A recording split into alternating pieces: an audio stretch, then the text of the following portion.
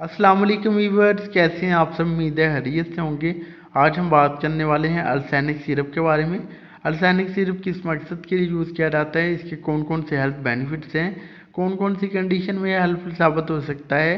अगर इस सिरप को यूज़ किया जाए तो कौन कौन से साइड इफ़ेक्ट देखने को मिल सकते हैं? कौन से ऐसे पेशेंट हैं जो कि इस सिरप को यूज़ नहीं कर सकते? इसकी डोज क्या है? दिन में कितनी दफ़ा यूज़ किया जा सकता है? यूज़ करने का तरीकाकार क्या है?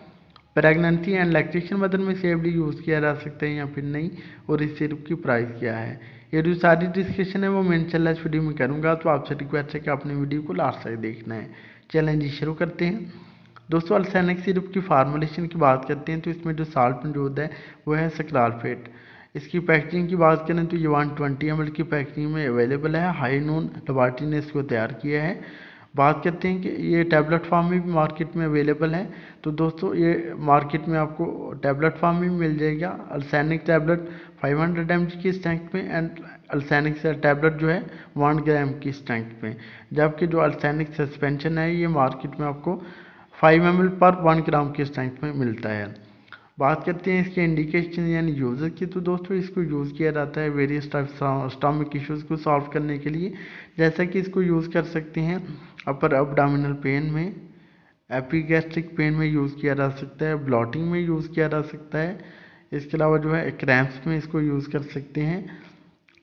नोजी एंड वॉमिटिंग में यूज़ किया जा सकता है हॉट बर्न में इसको यूज़ किया जा सकता है। इसके अलावा एसिड रिफ्लक्स में यूज़ कर सकते हैं गर्ड यानी गैस्ट्रोइसोफेगस फेगस रिफ्लक्स डिज़ीज़ में इसको यूज़ कर सकते हैं। वेरियस टाइप्स ऑफ़ अल्सर्स में इसको यूज़ कर सकते हैं, जैसे कि पैप्टिक अल्सर में यूज़ किया जा सकता है गैस्ट्रिक अल्सर में यूज़ किया जा सकता है डिओडनल अल्सर में इसको यूज़ किया जा सकता है। इसके अलावा जो है इसको यूज़ कर सकते हैं गैस्ट्राइटस में। एंड अल्सर की हीलिंग में भी इसको यूज़ किया जा सकता है। अगर सादा अल्फाज में कहें तो इसको यूज़ किया जा सकता है। जी मुख्तु किस्म के जो मैदा में जहम हो जाते हैं जैसा कि मैदा में जम हो जाता है, छोटी हाथ में जम हो जाता है, उस वक्त में इसको यूज़ कर सकते हैं, चाहे वो इन्फेक्शन की वजह से हो या फिर एच पाइलोरी इन्फेक्शन की वजह से हो या फिर कोई गर्म चीज़ खाने की वजह से हो तो उस वक्त में इसको यूज़ कर सकते हैं।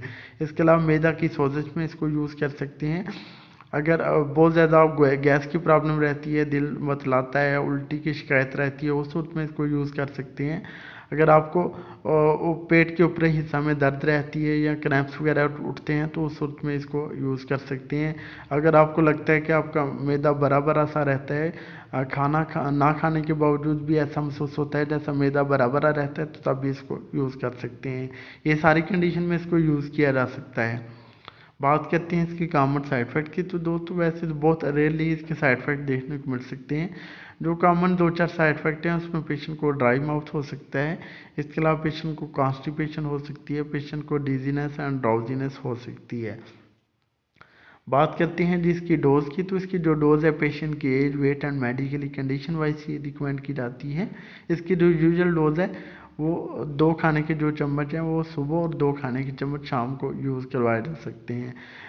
इसको यूज़ करवाया जाता है दोस्तों खाने से आधा घंटा पहले या खाने से एक घंटा पहले। कोशिश करें कि खाने से एक घंटा पहले इसको यूज़ करें और उसके बाद जो है कोई भी कोई भी एंटीसिड मेडिसिन यूज़ ना करें और ना ही कोई लिक्विड चीज़ यूज़ करें। क्योंकि ये मेडिसिन जो है, ये जाके स्टमक पे कोटिंग कर देती है, जो अल्सर वगैरह बने होते हैं, वहाँ पे कोटिंग कर देती है। एक लेयर बना देती है, एक तय बना देती है तो इस तरह से जो है पेशेंट को एसिडिटी की वजह से जो पेन होती है, उसमें रिलीफ मिलती है। तो इस वजह से इसको हाली पेट यूज़ करें। सुबह नाश्ते से पहले यूज़ करें और शाम को जो है कोशिश करें कि बेड टाइम पे इसको यूज़ करें, खाने के बाद यूज़ कर सकते हैं। बात कर लेते हैं प्रेगनेंसी एंड लैक्टेशन मदर में यूज़ कर सकते हैं या फिर नहीं। तो दोस्तों प्रेगनेंसी एंड लैक्टेशन मदर में यूज़ किया जा सकता है, लेकिन डॉक्टर की रिकमेंडेशन पे सेल्फ मेडिकेशन के तौर पे प्रेगनेंसी एंड लैक्टेशन मदर में इसको यूज़ ना करें। बात करते हैं दोस्तों इस सिरप की प्राइस की। तो इसकी जो प्राइस है, ये पाकिस्तान में आपको मिलेगा जी। वन फोर्टी फोर रुपीज़ का, एक सौ चौतालीस रुपये का ये पाकिस्तान में आपको मिल जाएगा। बहुत ही इफ़ेक्टिव मेडिसिन है, खासकर स्टॉमिक अल्सर के लिए। तो ये था जी एक छोटा सा ट्यूटोरियल अल्सानिक सिरप का। उम्मीद है आपको हमारी वीडियो पसंद आई होगी। अगर हमारी वीडियो पसंद आई प्लीज़ इस लाइक और शेयर कीजिएगा। हमारे चैनल नीम हेल्थ केयर को सब्सक्राइब कर दें साथ वाले बेल आइकन को दबाना ना भूलें, ताकि हर नई वीडियो की जो नोटिफिकेशन आपको टाइम पे मिल सके। अब जा दीजिए, अपने दोस्त नहीं मैं को मिलते हैं। नेक्स्ट वीडियो में अपना ख्याल कीजिएगा। ओके जी अल्लाह हाफिज़।